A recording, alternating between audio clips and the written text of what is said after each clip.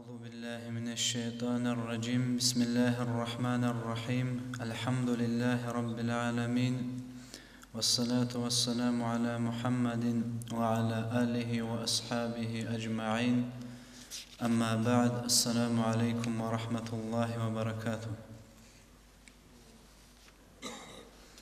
Сегодня мы немного расскажем об Умар ибн Хаттабе, радиаллаху анху, О втором праведном халифе. Умар ибн Хаттаб, радиаллаху анху, он имел общего предка вместе с пророком, саллаллаху алейхи вассалям. У них был общий предок, Ка'б ибн Люай, общий предок. Он был младше, чем пророк, саллаллаху алейхи вассалям, на 13 лет.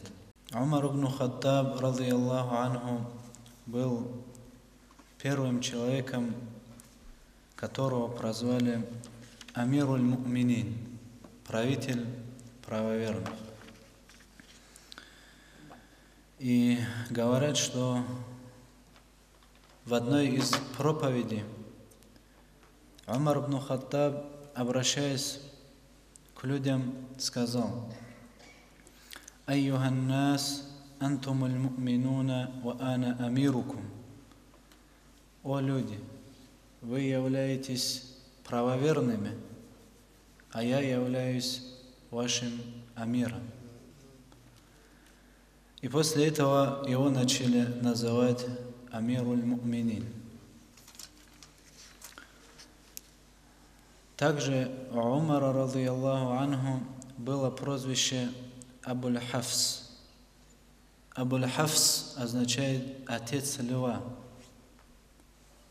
Его таким образом назвал пророк, саллаллаху алейхи вассалям. Сам пророк, саллаллаху алейхи вассалям, дал ему прозвище Абуль Хафс. Когда он увидел в Умаре храбрость, стойкость, пророк, саллаллаху алейхи вассалям, назвал его Абуль Хафсом, что означает очень смелый, отважный. Также пророк, саллаллаху алейхи вассалям, назвал его Фарук. Фарук, потому что Всевышний Аллах посредством Умара ибн Хаттаба разделил между истиной и ложью. Он был первым, кто начал открыто исповедовать ислам. Он был первым, кто начал открыто заявлять о своем принятии ислама. И Аллах посредством Умара ибн Хаттаба, радиаллаху анху, укрепил призыв пророка, саллаллаху алейхи вассалям. Пророк, саллаллаху алейхи вассалям, делал дуа, обращался ко Всевышнему Аллаху с мольбой. Эта мольба была следующей. Аллахумма а'иззаль ислама би ахабби раджулейни илейк. Би Умар ибн Хаттаб ва би Амр ибн Хишам. О Аллах, возвеличь ислам одним из самых любимых для тебя мужчин – Умаром бн Хаттабом или же Амром бн Хишамом. Амр бн Хишам это Абу Джахл. Его настоящее имя было Амр бн Хишам. Абу Джахлем его назвал пророк, саллаллаху алейхи вассалям. Арабы, курайшиты на него говорили Абуль Хакам, отец мудрости. А пророк, саллаллаху алейхи вассалям, его назвал Абуль Джахл, отец невежества. И пророк, саллаллаху алейхи вассалям, делал такой дуа. О Аллах, укрепи ислам одним из двух мужчин, который является для тебя более любимым. فأصبح عمر فأسلم. И на утро ислам принимает Умар, радиаллаху анху. На утро ислам принимает Умар. И пророк, саллаллаху алейхи вассалям, сказал, «Атани Джибриль факаля, قد استبشر أهل السماء بإسلام عمر». Пророк, саллаллаху алейхи вассалям, говорит, «Ко мне пришел Джибриль, ко мне пришел Джибриль и сказал, поистине обитатели небес обрадовались принятию ислама Умаром обитатели небес обрадовались. Умар, разияллаху анху, принял ислам в шестом году от начала пророчества. В шестом году от начала пророчества. Некоторые говорят в пятом году от начала пророчества. Принятие ислама Умаром Нухаттабом причиной этому послужило то, что до него дошла весть о том, что ислам приняла его сестра Фатима и ее супруг Саид бн Зайд. Когда Умар об этом узнал, он направился в их сторону, чтобы их проучить, чтобы их подвергнуть наказанию. Когда он зашел к своей сестре, она прочитала ему аяты из Корана. И тогда это послужило тому, что ислам проник в сердце Умара, радиаллаху анху. Затем он пришел к пророку, саллаллаху алейхи вассалям, который находился вместе со своими сподвижниками в доме, который находился возле горы Сафа. И там он открыто заявил о своем принятии ислама. И тогда, говорит, все мусульмане начали громко произносить такбир. Все мусульмане начали говорить Аллаху Акбар, Аллаху Акбар. Пророк, саллаллаху алейхи вассалям, обрадовал Умара, радиаллаху анху, при жизни, при жизни же раем. Он был одним из тех, кому при жизни был обещан рай.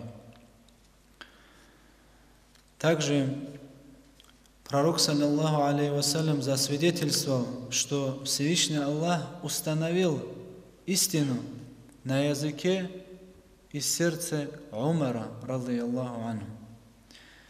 И то, что шайтан, он убегает с того места, где находится Умар. Пророк, саллаллаху алейхи засвидетельствовал тому, что Аллах установил истину на языке Умара, радиаллаху анhu, потому что то, что он говорил, часто относительно этого не спасалось откровение.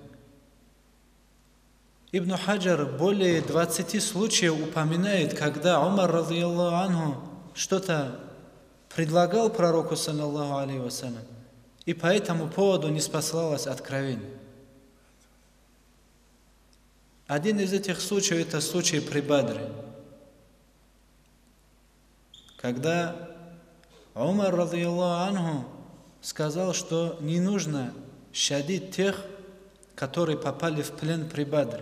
И относительно этого был неспосан аят. Умар ибн Хаттаб сказал пророку, саллаллаху алейхи что лучше будет, чтобы его супруги одевали хиджаб, полностью закрывались. И по этому поводу был неспосан аят.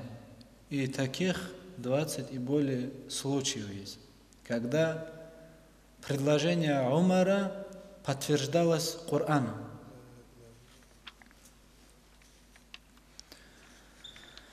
Затем Умар, радиаллаху анху, вышел в общество курайшитов и начал громко во весь голос заявлять о своем принятии ислама. И, конечно же, курайшитов в этот день постигла очень сильная печаль, которая их до этого никогда не постигала. Потому что один из отважных юношей курайшитов принял ислам.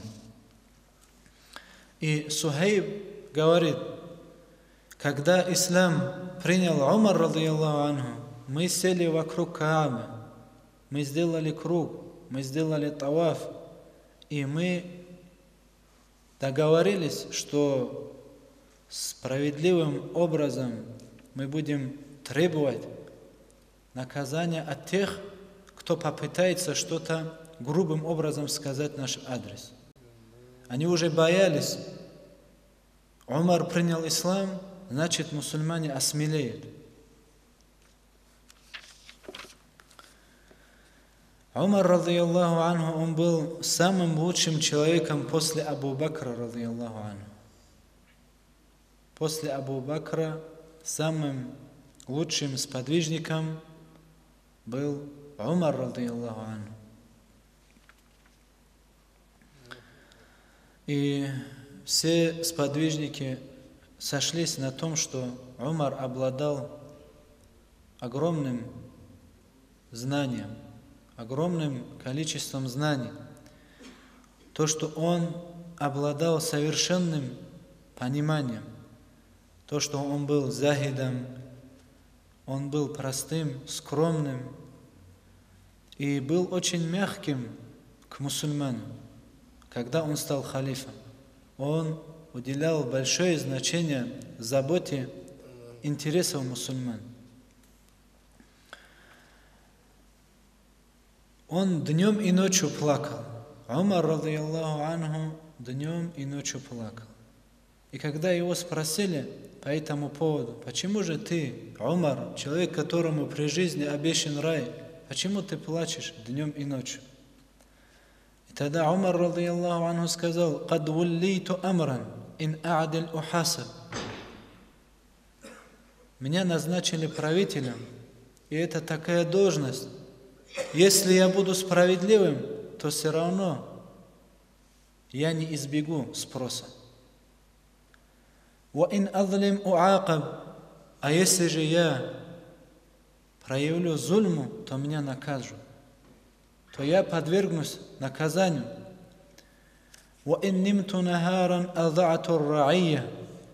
Если я буду днем спать, то я погублю свою паству. А если же я буду спать ночью, то я погублю самого себя.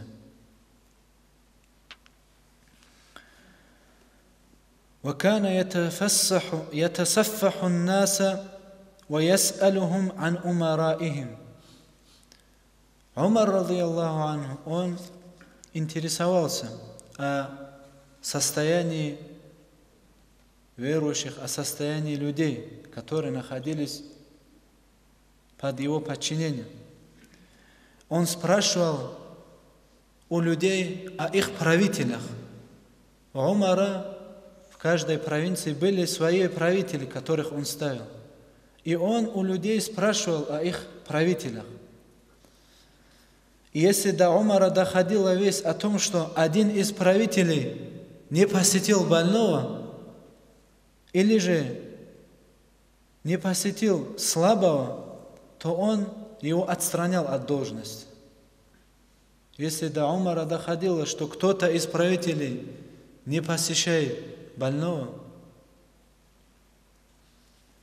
то отстранял его от должности. Один из дней к Умару, радиаллаху анху, зашел один из его подчиненных. И он видит, что Умар, радиаллаху анху, лежит на спине, а на его животе играют дети. Умар, правитель, лежит на спине, а на его животе играют дети. И это ему не понравилось, этому подчиненному. И тогда Умар, радиаллаху анху, ему сказал, «Кайфа анта ма ахлик?» А ты как себя ведешь со своей семьей, со своими детьми? И тогда он сказал, «Ида дахальту алейхим сакатан натик» Когда я захожу домой, говорящий начинает молчать. То есть я такой грозный, что если я домой захожу, то все начинают из-за страха молчать. И тогда Умар, разияллаху анху, сказал ему, «И'тазили анна, фаиннака ла тарфуку би ахлика ва валадика, тарфуку би уммати Мухаммадин, саллаллаху алейхи вассалям». Умар, разияллаху анху, ему сказал, «Ты отстранен от должности. Ты отстранен от должности. Если ты не проявляешь доброту и мягкость к своей супруге, к своим детям, то ты точно не проявляешь доброту и мягкость к умме Мухаммада, саллаллаху алейхи вассалям. Поэтому ты отстранен. Умар, радиаллаху анху, он заботился о слепых. Сам непосредственно заботился о них, о слепых. Заботился о тех, которые были парализованы, он заботился о пожилых.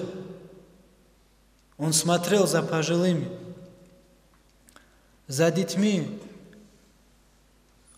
Он сам им приносил воду, таскал им дрова. Умар – это правитель. Он сам приносил им воду домой. Хотя у него было полно людей, которых он мог бы отправить. Но он был настолько простым, что сам приходил, носил дрова, приносил воду. Он убирал их дом, он чистил их дома от мусора. Также Умар, радиаллаху анху, приходил к тем женщинам, супруги которых пропали или же долгое время отсутствовали. Он приходил к ним и говорил, «Алякунна хаджа, есть ли у вас какая-нибудь нужда?» И они, супруги, вот эти женщины, они отправляли вместе с Умаром своих рабов, и Умар, радиаллаху для них покупал все необходимое – если кто-то из этих женщин ничем не владела, то он сам за свой счет покупал им необходимое. Немного о караматах Умара, радиаллаху анху. Он обладал очень большим количеством достоинств, караматов. И один из них то, что Умар, радиаллаху анху, отправил войско – и во главе войска он поставил Сарията. Когда же состояние войска мусульман ухудшилось, и ряды врагов усилились против мусульман, в это время Умар, анху, на территории Медины делал хутба, а войско находилось на территории Аджама – не на территории араба. То есть это очень далеко было. А Умар находился в это время в Медине. Он делал хутба. И он начал кричать. Во весь голос. Три раза он крикнул. Я Сария Джабаля. Я Сария Джабаля. О Сария, к горе. К горе, о Сария. И Сария, и те, кто были вместе с ним, услышали его голос. Умар в Медине, а они находятся на территории Аджама, не арабы. И тогда, говорит, Сария с войском отошли к горе и одержали победу над врагом. Также из его караматов то, что во время правления Умара ибн Хаттаба, анху, произошло очень сильное землетрясение. Так что чуть ли горы не обрушились. И тогда Умар, анху, своей плеткой ударил об землю и сказал следующие слова. «Ускуни ин лам акун адлян фавейлун лил Умар». успокойся, о земля. Если Умар несправедлив, то горе ему, то горе ему. И тогда, говорит, землетрясение прекратилось. И после этого подобные землетрясения никогда не повторялись на территории Медины. Также из его караматов то, что Амр ибн Ас, который был его подчиненным на территории Египта, Амр ибн Ас отправляет письмо к Умару, радиаллаху анху. И в этом письме пишется, «О Умар, поистине Нил, его вода не поднимается выше обычного. Пока туда не бросят молодую девушку, которая никогда не выходила замуж. Это был адат в Египте, когда еще там не было ислама. И тогда Умар, радиаллаху анху, обратно пишет письмо Амру бну Асу. В этом письме было написано следующее. Мин Абдилля Умар Амир Му'минина иля Нил Мисра. От раба Аллаха, Умара бну Хаттаба, правителя правоверных, к Нилу Египта. Амма Ба'д, затем – فإن كنت تجري من قبلك فلا تجري. Если ты течешь по своей воле, то не поднимайся в уровне. وإن كان الواحد القهار يجريك فنسأل الله الواحد القهار أن يجريك А если же ты течешь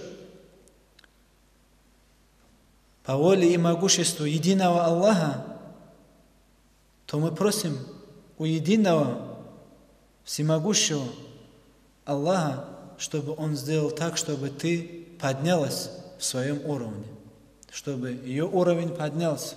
И Умар ибн Хаттаб, радиаллаху анху, в этом письме приказывает Амру ибн Асу, чтобы это письмо он бросил в Нил. Амр так и сделал. И когда письмо было брошено в Нил, уровень в этой реке намного увеличился. И после этого этот дурной обычай бросать молодых девушек в реку Нил был исчерпан. Также из его караматов то, что каждый год на территорию Медины поступала огненная лава огненное пламя. И мусульмане пожаловались Умару, радиаллаху анху. И тогда Умар, радиаллаху анху, своему рабу сказал, «Худ хада ридаа, фа ида джаат нар, фа афридху фи ваджхика». Умар снял с себя накидку и сказал, возьми эту мою накидку, и когда огненное пламя, лава еще раз подойдет к Медине, то поставил эту накидку перед своим лицом.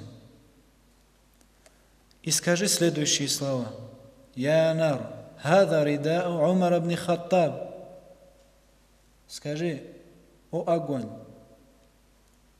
это накидка Умара ибн Хаттаба. И тогда, говорит, это огненное пламя, оно отойдет. Этот раб так и сделал, и после этого огненная лава начала отходить и больше никогда не возвращалась на территорию Медины. Умар, радиаллаху анху, он передал от пророка, саллаллаху алейхи вассалям, 539 хадисов. Прожил он на этом свете 63 года. Покинул этот свет шахидом. Его убил Абу Лю'лю ан-Насрани, христианин, когда он был в молитве. Умар ибн Хаттаб был похоронен в комнате, где похоронен пророк, саллаллаху алейхи. И передается, что в, на этой комнате, где был похоронен пророк, саллаллаху алейхи и Абу Бакр, висел замок. Висел замок, и когда туда несли тело Умара ибн Хаттаба, то замок сам открывался. Сам открылся замок. И присутствующие, они услышали голос из этой комнаты, где был похоронен пророк, саллаллаху алейхи. Этот голос говорил следующее. «Адхилу л-хабиба иля л-хабиб, фа инна л-хабиба иля л-хабиби муштакун». Введите, введите Хабиба к Хабибу. Поистине Хабиб соскучился по своему Хабибу, то есть по Умару, радиаллаху анhu. Эта история передается в книге Тариху Димашк. Автор этой книги является Ибн Асакер на 30 томе. В 30 томе на 436 странице эта история приводится. Когда умер Умар, радиаллаху анху, земля стала мрачной, потемнела. И маленький ребенок начал говорить своему отцу, «Акамат кияма о отец, неужели настал судный час?» И тогда отец сказал сыну, «Ла я бунайя, валякин кутиля Умар». Нет, о мой сын, сегодня просто убили Умара, радиаллаху анhu. И по его смерти скорбит даже земля. Хиляфа правления Умара ибн Хаттаба, радиаллаху анху, длилась 10 лет, 6 месяцев и 5 ночей. 10 лет, 6 месяцев и 5 ночей. Альхамдулиллахи Раббил Аламин.